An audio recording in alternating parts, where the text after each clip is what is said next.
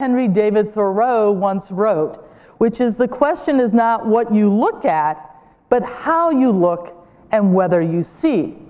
And how someone sees and how they convey that through the, the elements of paint, which is what I'll be focusing on today, the elements of paint uh, to be expressive is very much at the heart of modernist sense of place because it allowed for the self, the individual self, the subjective self, to bond with a space and making it then a place that one has associations with.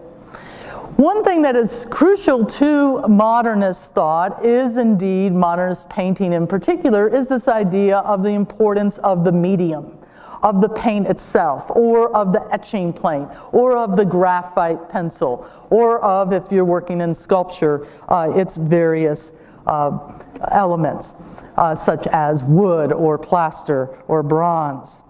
And these artists that we'll be looking at today, uh, and that we see uh, in Inness, very much identified with both not only what they were painting, but how they were painting uh, that the, it was through the medium of the art that they were then able to really bring some of themselves into uh, the space that they were looking at and turn it into a place that was a reflection of themselves. So that what we're going to see is that this topophilia is a bond of the artist with the environment that he or she uh, puts their sights on, that they not only look, but they really see, and how they see gives us a meaning. In particular, we could, uh, to get a better sense of this, we could uh, contrast the landscape of Frederic Edwin Church's Otter Creek, a real place, been there, go there every um, August uh, in Maine, and the, then this other place that Inness does. Now, Inness painted a lot of areas that were around his home in Montclair, New Jersey, and that is very much probably what this uh, particular place is. And uh, what he is giving us is kind of a pastoral image, but you can see right away, and then of course with the details, that there couldn't be anything more different in, than their application of paint and the way they delineate specifics of nature. So, church gives us every little rock, he gives us the detailing of the figure, interesting enough, in red, white, and blue. I think that's very purposeful. He is making this a national, Ameri- he's putting a kind of American flag in the middle of this landscape that will be, in fact, protected from development thanks to his paintings and his teachers, Thomas Coles.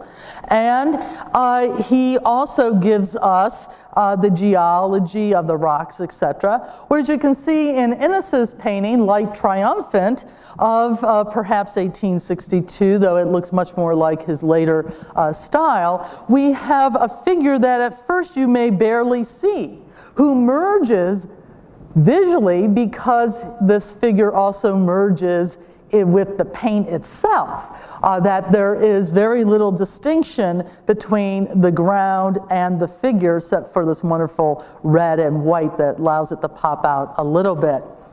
Uh, even if we contrast the detailing of the background here and the trees versus a church who was well versed in the geology and botany of the day, studying under the great uh, scientists uh, in terms of reading him, uh, Alexander von Humboldt, uh, that he gives us this very physical material world. That does not mean, however, it is not filled with meaning, as I've already suggested, uh, with not only this figure in a flag like uh, dress, but if we look carefully, you can see he's holding the mast, he's looking up to this great part of Cadillac Mountain, the highest mountain in Mount Desert. And if you look carefully, his shadow gives us a cross. Church, who was a Scottish Presbyterian, is literally blessing the landscape here as, as it uh, was very much what Americans were really seeing American landscape as part of its manifest destiny and a gift from God. So he is really literally giving us this blessing. Inness does not give us these overt iconographic symbols. Instead, he gives us a feeling, a mood, a poetry.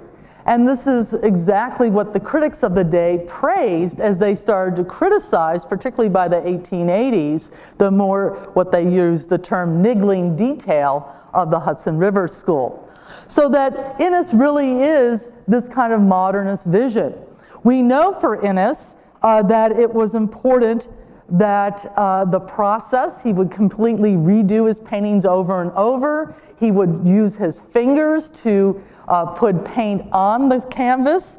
Uh, he also made equations between his paintings and music, something that modernist artists would continue to do well into the 20th century and maybe even today in the 21st century.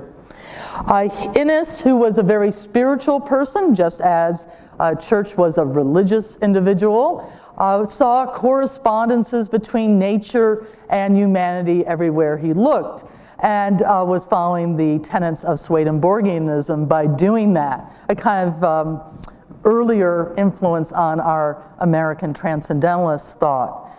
And uh, church, however, gives us precise symbols, another one being this mountain. Uh, Cadillac Mountain was, in fact, associated with a burial mound for surveyors and was called Adam's Grave. It also has been altered according to Pam Berlinger, and I think she's right having seen Cadillac Mountain. It doesn't really look like this. If you start looking, and this is something his teacher Thomas Cole did, church has turned this, and again, you're going to have to use a little anthropomorphism here. Here's an eye, here's the nose, here's a gaping mouth, has turned it into a face that's looking up to God, something that a church would do in other works of art, along with our hidden cross that he gives us in the shadows. We have none of that in Inness. Inness, in fact, was very much against the idea that art should give us a moral lesson or that art should instruct or edify, which was the foundation of church and earlier uh, artists' work in the 19th century. Inness said that the purpose of art was to awaken an emotion, uh, to be truth to the poetry of paint. And even as their art uh, developed, and uh, these two uh, individuals continued to live through the end of the 19th century, church uh, painting all the way until uh, about the end of his life, which was around 1900. Here we have a work from 1881. We can still see church holding to detail. Uh, here's his trees versus the wonderful abstraction probably also influenced a little bit by Japanese prints, of George Inness's great Home of the Heron, a painting that is in the great Chicago Institute of Art, a painting of 1893, in which we have just merely indications, uh, just wisps of trees versus the detailing. And even the figure here, of course, is quite uh, visible and uh, very detailed versus the heron, which almost seems as if it's in motion, as if it's an afterthought, or more likely is again a spirit bird. Uh, really suggesting another plane of existence, which Inness was very interested in suggesting. And so too would his fellow and following modernist artists in his work. Inness uh, said that the true use of art is to cultivate the art's, artist's own spiritual nature. And then every artist who, without reference to external circumstances, aims truly to represent the ideas and emotions which come to him when he is in the presence of nature and that is part, as he would say, of his own spiritual development. So again, there is this almost sensate and also um, transcendental and metaphysical relationship with the landscape and with the process of painting. Now, I mentioned that there is a musical nature to Inness's art, and I want you to notice how we could read this as a rhythm across the canvas, whereas Church leads us into the distance. He wants it to be a window for us to enter. In fact, he would do frames that looked like windows uh, that had opened, even with velour on them, with uh, velvet curtains. And uh, he would also give us botanical specimens so that we could compare and see how good he is as a painter. Inness, of course, isn't concerned that he wants you to feel. And he also wants you to, in a sense, get into the rhythm, the musical tonality of the work. He wrote to his son George, who was also a painter, Now we will put a dab of dark here and light over there. We thump, thump, thump the keys to the distance. But don't forget to put in the harsh note, the accidental. It makes the contrast that gives interest and variety to the whole, the gradation of light and shade, which corresponds to music. And of course, it is Whistler who, even before Inness, uh, would do this, naming his paintings symphonies and harmonies and nocturnes. Now, as several works in the current exhibition demonstrate, for American modernists of the late 19th and early 20th century, there was another space besides the pastoral or wilderness space of, the, of what we've seen in Inness and Church and Lewis that was important. And in fact, Lewis hints at it in his Palisades image, and that is New York City. New York City was a space that became a place for modernists American artists. Very much worth capturing because it was the new New York and it became the symbol of the American 20th century. It was, of course, with its increasingly towering buildings and full of teeming populace that was very diverse with the many immigrants coming in. It was also the largest city in America and the second largest in the world. London was the first. By 1900, there were, now this seems very little, uh, 3.5 million people uh, in 1900, and uh, the United States had almost 76 million by that date, and of course it rapidly increased. And New York was seen as unrepentantly modern, with its skyscrapers, the largest in the world, the Flatiron Building in 1902, of course to be followed by many others competing, and it was modern in its sense of freedom, in its sense of fluidity, in its sense of ambition, in its daringness and willingness to reject tradition, to get rid of those brownstones, uh, to put up neon lights of Broadway, and to embrace new forms, new materials, new architecture, to be what Walt Whitman had foreseen in the 19th century as Manhattan the sun, as him saying, I am uh, cosmos, I am the energy of Manhattan, and really celebrating it. All the modern artists, by the way, love Walt Whitman. He was their inspiration.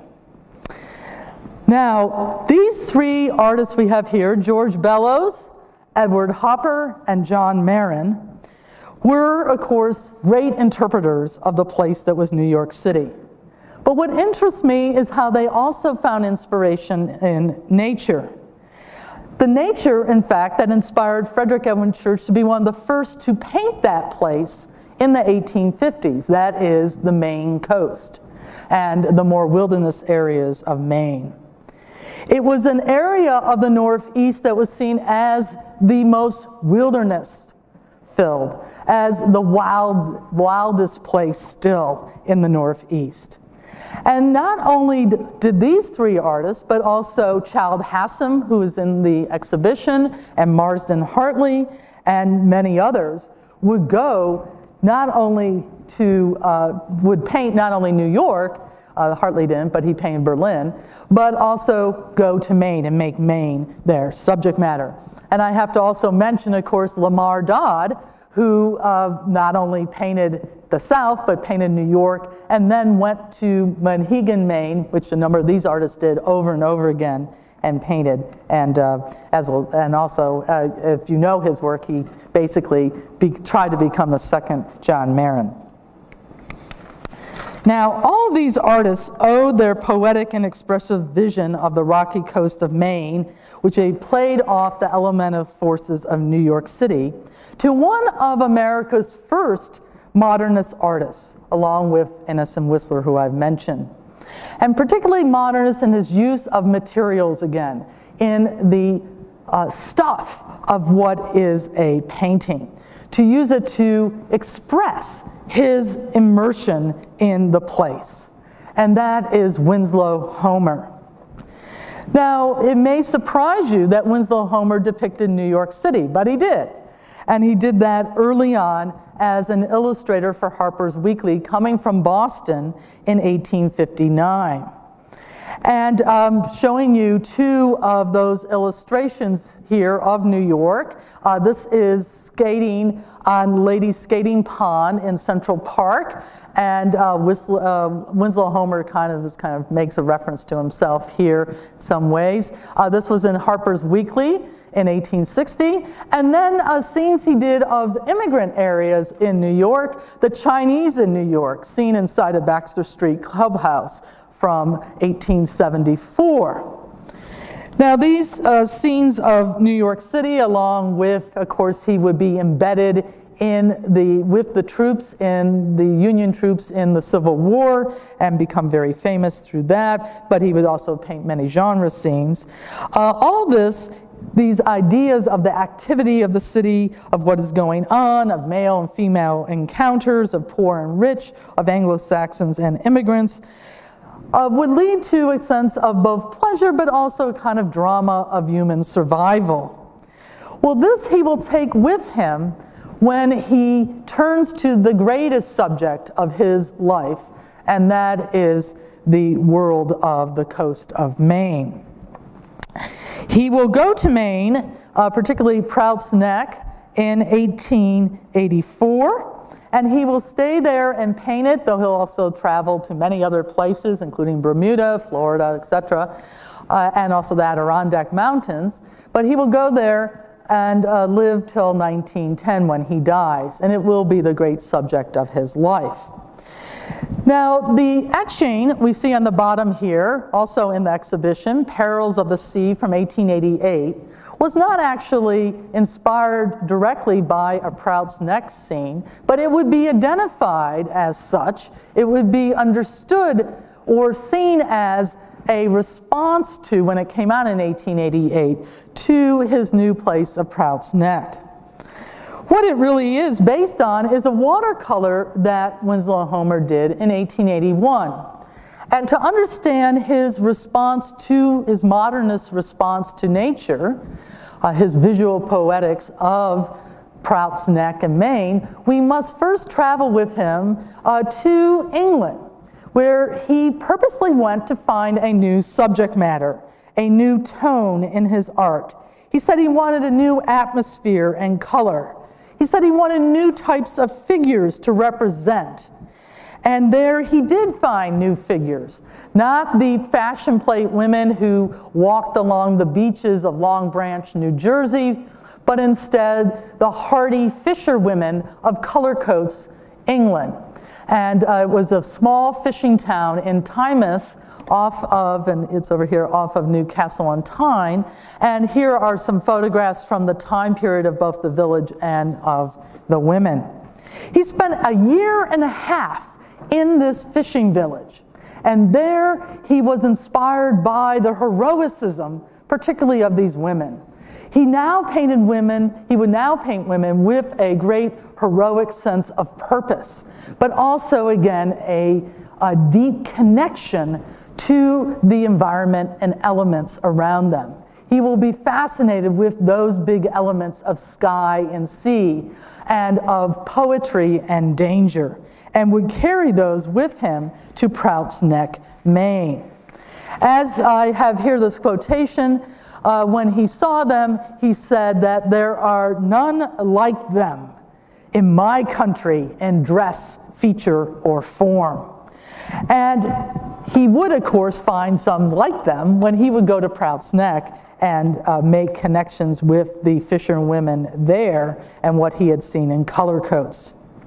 Now, what he does is he draws upon his watercolors that he does in Cullercoats as well as drawings. He didn't do any paintings there, any oil paintings, uh, and then uh, would also inspire an etching like the one from 1888. What I want you to notice is some of the key changes that Winslow Homer did. Again, his ability to both see what, through careful observation, what's going on, but then to change it as an artist's imagination and artist's sensitivity to expression should do.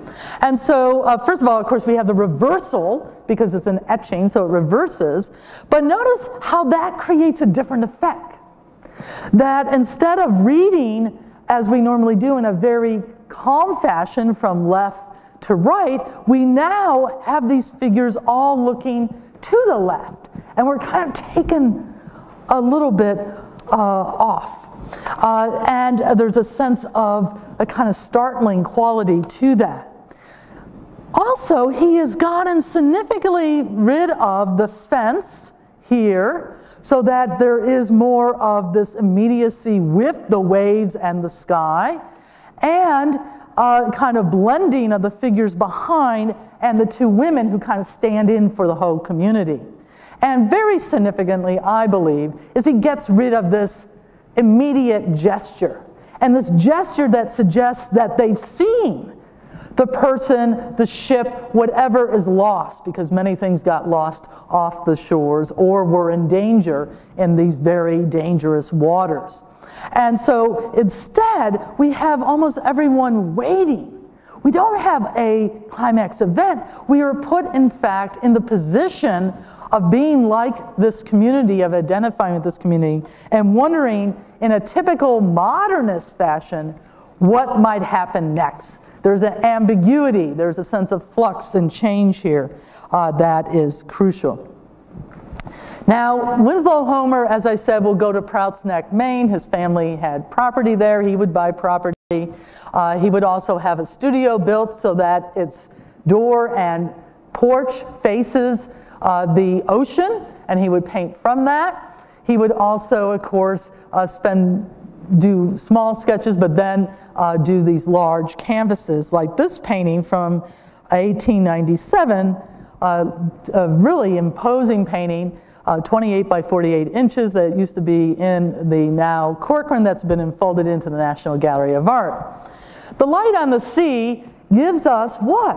Our fisherwomen, again, reconceived as now an American woman or any woman in facing nature, as it were, whether it's in England or Maine. But everyone saw these as paintings of Maine, which he intended, and he, he that's why he was successful uh, painter because people had this wildness of Maine that they wanted to own and uh, look at. But I also love the sass that I see in this figure. Uh, in fact, you might notice she's got her arm akimbo. I kind of call her uh, the Mae West of the sea. I mean, it's almost like she's inviting us to come up and join her, uh, you know, and there's something very uh, sexual here. And uh, Winslow Homer, like Walt Whitman, like uh, other modernists that I'll be mentioning, in particular George Bellows, really saw the sea, the ocean, as feminine, as again this kind of fertile force and uh, as something that was constantly rejuvenating the earth as women did. Uh, Winslow Homer, by the way, was a lifelong bachelor. He might have, in fact, had a, one of those uh, miserable love affairs early in his life and just didn't bother after that. Uh, who knows? Uh, that's for him to know and us to never know. Anyhow, uh, another thing that is important to understand Winslow Homer's modernism is the way this is painted.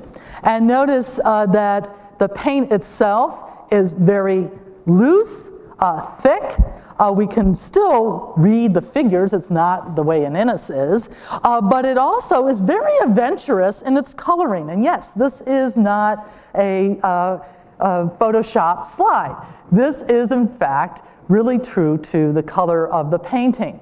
And it reminds us that one of Winslow Homer's Bibles, that would be a Bible for the Impressionists and the Post Impressionists, was Chevreul's book, The Principles of Harmony and Contrast of Colors and Their Application to the Arts, which had an English edition in 1859.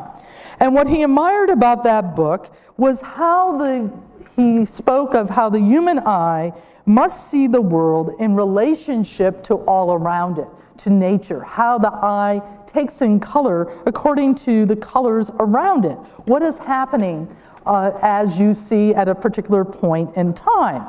Chevreul also emphasized the use of complementary colors. And as you look at this painting, uh, you'll see that he does give us quite audaciously uh, this green with the red, complementary colors, and this lavender purple with this yellow here, again, complementary colors. And so Winslow Homer is much more modern uh, than you uh, may have uh, first thought. And I also love his brushwork, just one brush going across to convey uh, these waves in the ocean. Really quite extraordinary. And we see him over and over again uh, now turning, getting rid of even the figures, and turning to just the powers of nature. And he does that from the 1890s on. And the Nor'easter here of 1895 is one of many of these paintings. This painting was actually uh, reworked um, in uh, 1899 taken from its owner who had in 1895 because originally there were two figures here. Winslow Homer got rid of those figures and instead enhanced, increased uh, the foam here so that it becomes just a kind of battle, as it were, of waves and cliff, darkness and light. Uh, we wonder what's going to happen to the weather, the fluidity and flux of nature's great elements. Now, two other books that were important to Winslow Homer again suggesting his more modernist mindset, was uh, George Chaplin Child's The Great Architect on the power, wisdom, and goodness of God as manifested in his works from 1866 and reprinted in 1871. And then Matthew Maury's great Physical Geography of the Sea, which was a bestseller in America in 1855. Chaplin and Maury both praised the um, ideas of both God and nature, but not rejecting the new scientific theories of the likes of Darwin or the astronomists or Maury himself. Chaplin, in particular, emphasized the role of the sea, the sea as pathless, trackless, and the world's mighty heart. And Maury, in his book, talked about through the actual circulation of the waters that through the globe that God's presence can be felt. That this dynamic universe, again, a modern universe now, not the universe of pre Civil War America, this modern, very much in flux universe reflected uh, God, the great architect, as it were. And this is as religious as uh, Winslow Homer got. Very much a kind of natural theology which many modernists would partake of. I have here a quotation uh, from Maury who writes about the ocean and its movements as parts of the physical machinery that are expression of one thought, a unity with harmonies which one intelligence and one intelligence alone could utter. And here are some details, and you can see again how Winslow Homer uses the thickness of the paint to suggest this um, war, as it were, but also interchange is a better word, really interchange between foam and sky, rocks and uh, sea. Here we have a real sense of the ferocity of the sea that Winslow Homer wanted to convey. Maury talked about how we never tire of the sea and, or the atmosphere, and then goes on its powers are vast, multitudinous, and varied. Its adjustments and beauty and sublimity of effect vie with the glories of the heavens. And it seems to me that Winslow Homer is in part uh, both uh, connecting with the materiality, the very materiality of nature, but also its uh, patterns, its uh, sense of uh, a Darwinian, very much a Darwinian fatalistic world. And here's a detail of this painting. You can see how thick the paint is, how he uses the palette knife, which is like a giant butter knife, uh, to convey that foam, but also take something, think about water, how transparent it is. Take something that is fluid and transparent and that would go through your hands, make it solid, make it substantive, make it material, make it uh, Winslow Homer's paint. West Point Prout's Neck from 1900 is an example of how Winslow Homer never tired of the sea and considered this, in fact, one of his finest paintings. Uh, he considered, uh, as I said, he considered this really a combination of observation and abstraction, and it's certainly something that we can see here. It combines both sight and insight. And it is this sight and insight that is the essence of Winslow Homer's art, and I would assert that of all modernist visual poetics. In fact, in this work we have both poetry and danger, uh, these rocks that could in fact, or these waves that could in fact bring us under. And he did do a painting earlier in the 1880s of uh, the undertow. Yet at the same time, there is this incredible sense of the poetry of the sunset. And he insisted this was 15 minutes after sunset, not one minute before. And uh, he said, The sun has got beyond their clouds' immediate range and they are in shadow. The light is from the sky in this picture. You can see that it took many days of careful observation to get this. And indeed, it is that careful observation, but it is also, of course, him using paint. And here is again a wonderful detail. Look at this brushstroke here, for example. This is almost like a little abstract expressionist uh, painting.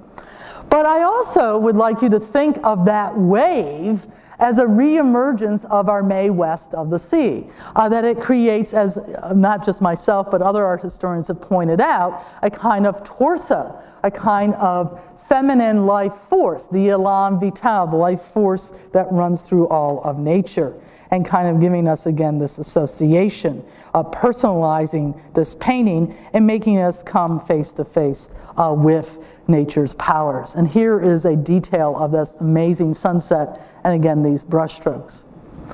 This is Winslow Homer's last painting, Driftwood from 1909.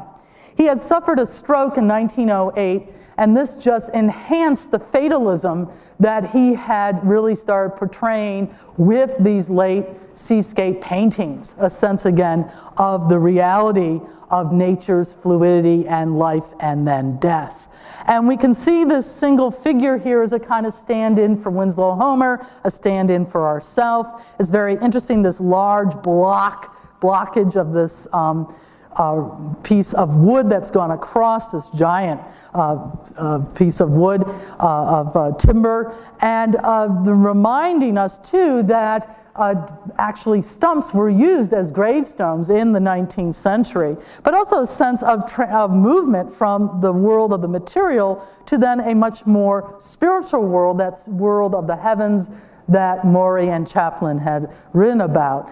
And Notice that we have the bird above, just as we had that gull by Our Lady of the Sea and Light on the Sea, as a kind of emblem of the soul, as birds so often were. So here, once again, we come to face to face through the materiality of paint with the sublimity of the sea and the realities of life and death. Well, these paintings by Winslow Homer were of enormous influence to George Bellows, Edward Hopper, and John Marin. George Bellows uh, would, in fact, uh, go to Maine in July 1911. And he would go to Monhegan Island, which is not far from Prout's Neck and had its own artist's circle. A small island, it's a mile and three quarters long and three quarters wide landmass. And it would, as I said, attract a number of fellow artists, including Lamar Dodd, who I mentioned earlier. This is one of four summer trips that George Bellows would make. He would go 1911, 1913, 14, 16, and then he would paint the sea again, but in California in 1917. Something I was surprised to learn that I didn't know was that George Bellows painted more than half of his output was of the sea. He did 550 uh, paintings, and 275 of those were of the sea. Now, many of them were small, like these paintings are. These are all oil on board, 18 by 22 inches or so, would inspire larger oil on canvas paintings, but also were really seen as expressions themselves. And uh, here we have forth and back, and also churn and break. And notice uh, he has picked up from what Winslow Homer was doing, but now is even more blending sky and water, rock and sea, and giving us again something very expressive, very abstract. Now, Bellows complained about the insidious female seductions of the sea. He said, too much sky, too much sea, too much cliffs. Of course, this was the first year he was married in 1911, and his wife could not come with him. He even said, Beware of the native nymph of Monhegan, uh, as again, as if this great life force was going to eat him up. At the same time, he understood the key modernist sensibility that a work of art can be any imaginable thing and that this is the beginning of modern painting. So that even though we have nature here, we also have really pure forces uh, and pure paint uh, in, uh, uh visually attracting our eye. Now, while he was there in that first trip of 1911, he did these two paintings, Evening Swell and uh, The Island in the Sea a painting that he considered really his masterpiece, a real sure enough, he said to his wife Emma.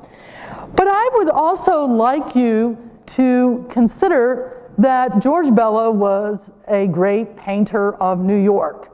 He came to study with Robert Henri, the artist of the eight, uh, of course, knew John Sloan and others, and uh, painted much of the new modern New York that was happening, the teeming of the population, the new skyscrapers, and especially did a series of important canvases recognized by the critics of the day as important of the Pennsylvania Street uh, station being excavated. That is the Penn Underground Rail Station, the original one, not the horrible one we have today. And uh, notice here in this painting from, 30, uh, from 1909, we have this kind of uh, the uh, landscape of New York, very mountainous, not unlike the mountain of Monhegan here, island.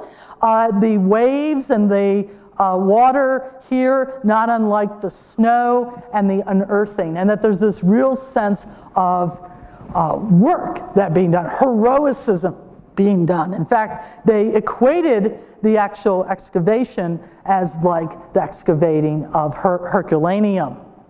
He did many of these paintings. Uh, here are two more of the Pennsylvania excavation from 1907 and 1908, one at night. And the way he uses the paint and the palette knife to create this truly thick material uh, canvas that speaks to the visceral violence that's being done to the earth and nature is something that we also see in his uh, Maine paintings like Gorge and Sea, in which he is experimenting both with color, like he is here, here's some bright reds, and also a kind of almost claustrophobic landscape. So, again, very modernist in its sensibility. Summer Surf is up here on the top left uh, from uh, 1914. Uh, now his wife has been joining him. This is the final summer in Monhegan. Uh, but this leads us to another artist who you may be very surprised painted the other three works. They might look a lot like a Bellows, especially this one. Uh, these even have a kind of Homer-esque like quality except for the brighter color palette. These are by Edward Hopper. And Edward Hopper uh, went to Maine uh, for the first time uh, after he returned from Paris, uh, was in Paris uh, and returns permanently to New York in 1910. And he travels to Maine in 1914 uh, to a area near Prout's Neck, Ogunquit, Maine. And uh, there he was inspired by his friend George Bellows and also their mutual friend Leon Kroll, as well as Robert Henri. And this was, believe it or not, Edward Hopper's first engagement with painting wilderness nature. He hadn't really done that. He had, of course, painted what he saw in Europe, and then he was starting to engage with the buildings and cities, the life of New York. Uh, but now he paints, oops, excuse me, he paints uh, the world of sea and sky and does it in small oil on wood. And again, some of these are quite small, but then he'll do larger paintings on canvas. This is 24 by 29 inches. The rest are like 9 by 13, and he'll carry them around. But what I want you to notice is how restrained the sea is and the sky is that what Edward Hopper, and knowing his work as some of you do, this may not surprise you, what Edward Hopper seems most interested in is the architectonics of the shore, the architectonics of the cliffs, and treating them not unlike he would treat a piece of architecture, but yet again using a more free use of paint. He would return uh, to uh, the, um, to Maine in 1929 after painting, going there till uh, 1919. He'll return uh, in 1926 and 1927 and 1929, but now move to the city, particularly to Portland and its ancient architecture, or I should say 19th century architecture, and also to Cape Elizabeth, where the great lighthouses were. And he would start painting these lighthouses, and I show you two of them at the top here. His uh, lighthouse hill, which is Captain Upton's house. Again, you can see this today if you actually go to Cape Elizabeth off the coast of uh, near Prout's Neck, and lighthouse at Two Lights. And uh, what he gives us are these kind of very forceful objects of the lighthouse. He, of course, again gives us a expressive way of painting despite his reticence, his uh, very architectonic and silent sense of silence, not the vast emotion we have in a Bellows or a Homer. And they also might remind you very much of the kind of uh, quietude and silence and a loneliness even of his New York City scenes. And these are from a year later, Mountain Bridge Loop, Manhattan Bridge Loop of 1928 and from Williamsburg Bridge from 1928. Hopper insisted, however, in a very modernist way, that not only did he look carefully to paint his impressions, but that a great art was indeed the outward expression of an inner life in the artist and this inner life will result in his personal vision of the world.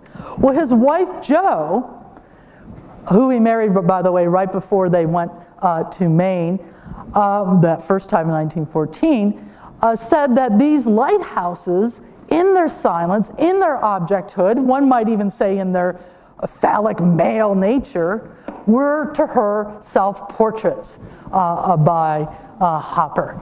And uh, there is this uh, very um, uh, kind of strong, and he was a very difficult man apparently to live with, um, very strong quality to them, but also again something kind of forbidding even in their forms, just as the New York landscape was. but the modernist artist who most learned from Homer and I would even say Inness, and who most took from New York those vital energies and found correspondences to them when he went to Maine was the great artist John Marin. Marin, who would also never tire of painting the sea like Edward, uh, excuse me, like Winslow Homer. He, in fact, uh, would paint over 40 years of his life in Maine and of the sea, just as he would return to New York City over and over again. John Marin was New York, was New Jersey born, and uh, 1905, like Hopper had done a little few years later, goes to Paris and travels throughout Europe, but comes and insists he's now going to paint only America in 1911, and he settles in New York City. In 1912, he marries for the first and only time at the age of 42. And it is at that time that he becomes one with the energies of New York. But not far after that time, he takes, two years later, he'll take his pregnant wife, Marie, uh, to Maine. Here we have two of the elements of New York City that Marin was a master at painting and capturing the forces. Brooklyn Bridge, he did many etchings as well as watercolors, and, and Marin is like Winslow Homer, John Singer Sargent, our great watercolorist. And uh, he also loved the skyscrapers all the people. You might notice there are cars here. These are the teeming people. Uh, even I love this clock, which seems as if it's about to topple over because something's going to change at any moment. Uh, this is actually a top a light on top of a skyscraper, but it looks like a sun or comet. We have here all the energies of New York, and he painted these over and over again. Woolworth Building, he did a whole series of both etchings, making it literally dance and he called it Dancing Woolworth Building, uh, as well as doing that with the Brooklyn Bridge. For John Marin, the essence of New York and also, as we'll see, Maine were forces at work.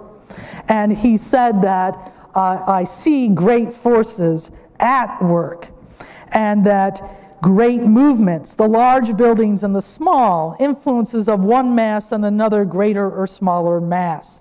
Feelings aroused which give me the great desire to express the reaction of these pull forces. And he goes on and he says, while these powers are at work, pushing, pulling, sideways, downwards, upwards, I can hear the sound of their strife, and there is great music being played. And so I try to express graphically what a great city is doing. Marin actually was almost a concert pianist, and he owned a Steinway piano. He constantly made references to his art and music, just as Inness had done, just as Whistler had done, and just as many modern artists in the 20th century would also do. He also gives us a sense of not only modernist forces of technology, but also life forces of the people and all of their energies uh, really taking over, or what Henri Bergson would call the élan vital, great philosopher, French philosopher who influenced these artists. Well, as I said, in 1914, he goes to Maine for the first time and is so taken with it. In fact, he said, Maine grabbed him by the nape of the neck. Once I get here, I forget other places. And as I said, he will paint it for 40 years. Well, when he gets there, he is so taken with it, not only does he paint it, but he buys a small island. There are lots of islands in Maine. You can buy your own. And it has no water, uh, so there's no house there, but he also bought a boat. And he would repeatedly go to this island. Well, one of the things that captured his attention on that island, just as the lighthouses became an important image for Hopper or the waves and cliffs of Monhegan Island became so important for Bellows was the pine trees.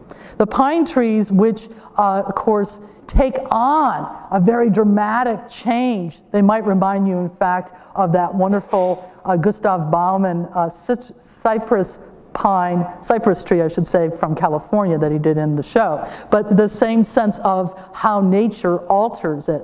And he painted these pine trees over and over again. Tree and Sea, 1919. Little Tree, Maine, 1914.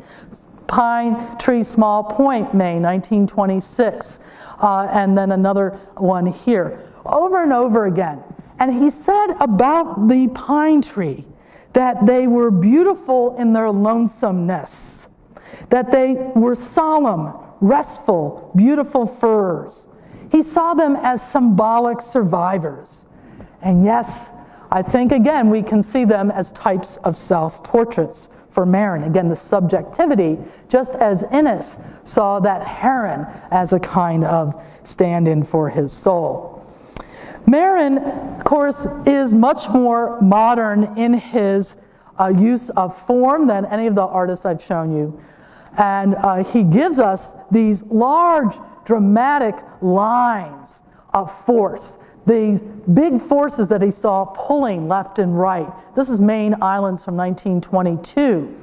He read Einstein, was very interested in Einstein's theories, in particular that there were an infinite number of spaces which are in motion with respect to each other, that constantly things are moving one against the other. And if you look carefully at this, you might notice some pictographic forms here, ones that even suggest an infinity. Or is that an eight? Is this a seven? And then I love this, we have like a little whalefish smiling at us. Uh, he would have this kind of playfulness, but are these then a clock's hands? Or is this, again, something even more abstract, this notion of uh, space and time that is constantly shifting uh, as he uh, looks at and studies the Maine landscape. Marin wrote, You try to see your objects in their movement positions. You seek for backbones of these swaying objects. These you must hold to for all you are worth. And he said that all good writing, all good painting, all good music obeys this principle. In fact, he called it the backbone principle. And he called his paintings movements in paint.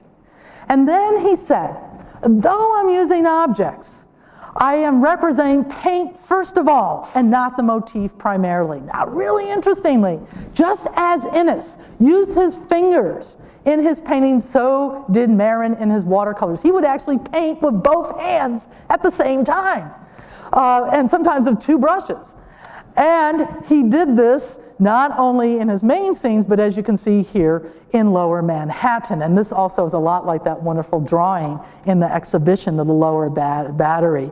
I love too how he plays with the horse here, the old days, as we have now the Woolworth building, other buildings coming up. And is this, and maybe even a reference to Brooklyn Bridge, to all the spires and girders, but also to the abstract forces of energy that he senses in this place that he is now really placed in his own uh, self, that he has intuitive. In, in his Manhattan from 1921, in this watercolor, he now gives us a framing around the scene. And I think in many ways he intends these two works to be what we call pendants, that is, uh, works to be seen together. We have that world of the energies of New York, and we have that world of the energies of nature in Maine. And we also have nationalistic Maine, red, white, and blue. He said, by the way, that one should paint water so it follows the flow of one's hands. And yet at the same time, he said, I find myself constantly juggling with things, playing one thing against another. And then when I get through, they look so much alike. Marin, they act like Marin. Can I not ever get away from this fellow Marin? And here we have that absolute modernist sensibility of subjectivity, of topophilia, of a sense of place, of the visual poetics of place, that one becomes what one paints, but also what one paints becomes oneself, takes on the qualities of oneself. And I want to finish by giving you a hint of how Marin continues this also in oil, and also saw his works as a whole. Uh, those frames that I showed you with the pine tree were all designed by Marin, as were these frames here. And once again, he continues to paint the Hudson River uh, and New York from the Hudson River and a cruise ship, and also the fog lifts in Maine. And look at how abstract this work is from 1949, giving us this rectilinear concept of fog and its heaviness. But these frames were all designed by Marin. It is a whole, that sense of everything being unified, a very modernist sensibility, one that Inness understood. Marin said if he could plan out work, he would. Uh, he would like to do that very much. Uh, he said, But I find that this wayward temper of mine will not allow me to. I find things cropping up I never intentionally intended. You can transpose, you can play with and on your material, but when you are finished, that got to have the roots of that thing in it, and an inner vision of your own has got to be transposed onto your medium. And so we return to George Inness's home of the Heron and see that indeed these two artists, as well as Bellows and Hopper and Homer, all were attuned to their medium as a true modernist would be, to the possibilities of a visual music, to the forces of work, and most of all, to the inner vision of experience. And that we have here the true visual poetics of place. Thank you very much for your attention.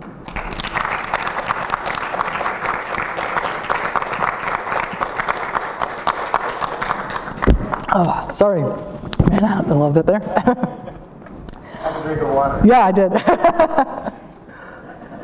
mm.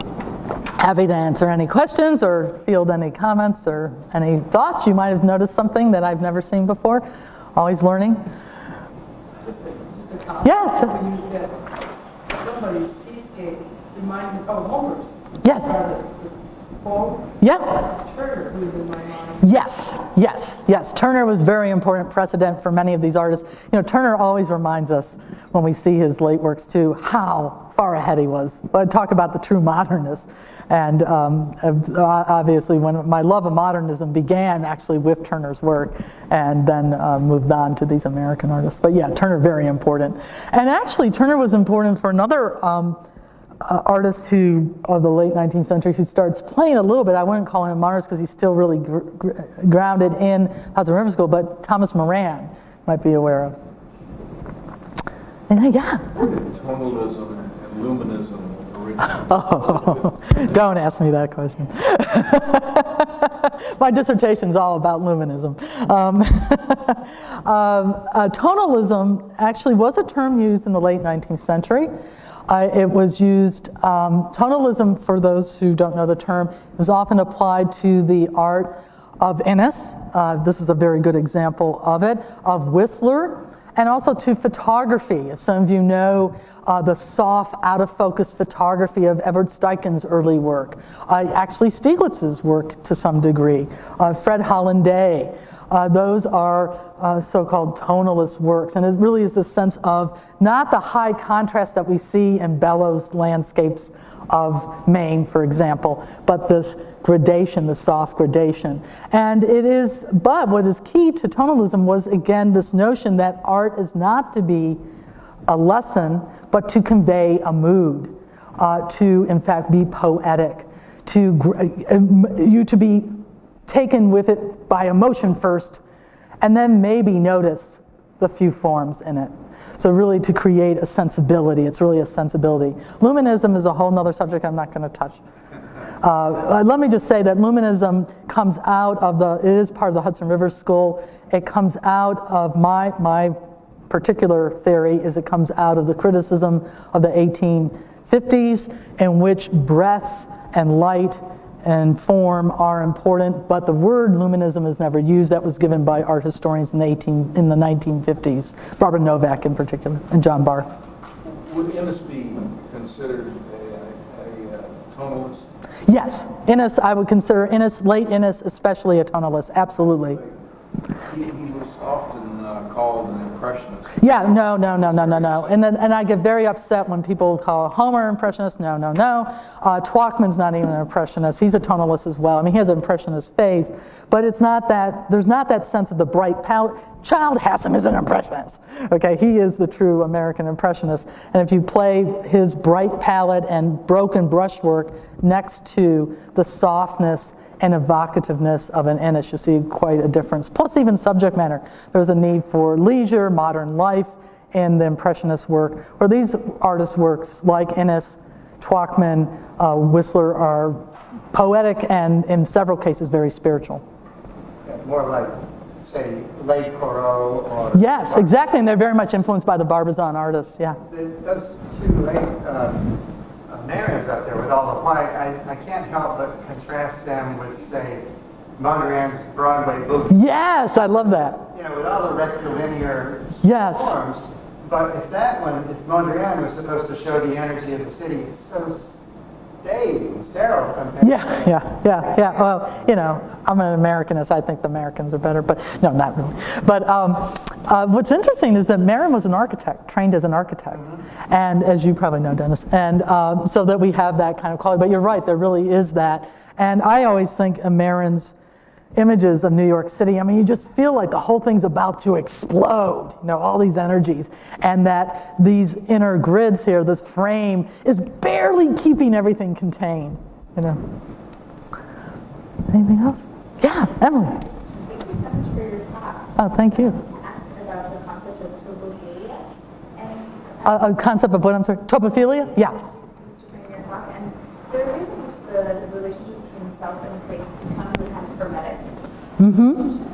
But so many of the things you're talking about become appropriated for these larger conversations about community and naturalism. Yeah, that's true. What you think are the mechanisms behind this sort of transference from these sort of personal, um, unique expressions of individuality and intersubjectivity? Mm-hmm. Does that make sense? Yes. Um, I know it's a big intersubjectivity in terms of the, the community itself, yeah, and how, and have reception, right. Um, you know, that's a really important point because I think about how, and you, particularly the modernist works, I assume is what um, because that's one thing that's interesting. Church and the Hudson River School had a kind of, it was a, a kind of nationalist language that they're working with. And now we have this much more personal language, particularly in the elements of paint and each artist's style as so much marking. I mean, you can't, except for when Lamar Dodd's trying to be John Marin, you can't really see another. I'm, I'm giving him a hard time. I shouldn't. Um, uh, he was a nice man. Uh, that you have this sense of uh, this is a Marin, this is a Hopper, this is whatever. Um, yet at the same time, they are part of their time and part of the how others are responding to the city, how others are responding to Maine. Uh, they also have a kind of shared literature. Thoreau was very important to Hopper, believe it or not. Uh, and Thoreau, who of course is the great writer of the Maine Woods, you know, I think there's some of that. And I think about this just made me think of Hopper's kind of weird woods woodside scenes that he does, even with his um, New York scenes and suburban scenes. You have that, and and the power of the woods in uh, Thoreau's writings. So I, I would say I think what it is is there's those moments when they connect, and then there's moments when the artist is so what? You know, it's like, this is my personal statement. And that's part of the difficulty of modernism, isn't it, uh, often? Uh, and became even more problematic when you have artists like Kandinsky, who will say, I'm going to give you a language, and everybody should be able have color and form, and everybody should be able to get out of that. And of course, it doesn't unless you read his book, and even then, you still don't get it. You know, it, you, and then you start hunting and finding out his, his own iconography and all this stuff. So, yeah, there, I think that's always been the tension between the public and modernist art. Uh, though, however, I think Americans, American modernists, in their insistence on being and painting the American thing and American subject matter, were able to then have a hook. Not that these, some of these works weren't seen as radical, they were, Marin's in particular. Uh, you, I know, Emily, know, but other people. He showed his Woolworth buildings, uh, ones that aren't too different from uh, this one here. In fact, this one might have been also been in the Armory Show, in the Armory Show of 1913, and they were really, of the American works, the most radical works in the show. And not as radical as what the Europeans are doing, like Duchamp, but still, and uh, people just didn't get all those um, strange blots. You know, what's all that blot doing? Katie, I think you had. I was going to say maybe in, in a way the works themselves become places. Yes! I mean, the works themselves, because they do bring like, Yeah, I love that. Yeah, yeah, I love that. And we pointing forward to Pollock. Yes, yes, and Pollock who said, uh, you know, I don't paint nature, I am nature. Yeah, exactly. Yeah, very good point. Anything else? It's been a long day. All right. Thank you. Well, thank you again. Thank you. Thank you, everyone. Of course, please join us outside. I'll be happy to talk to you. Cafe is open.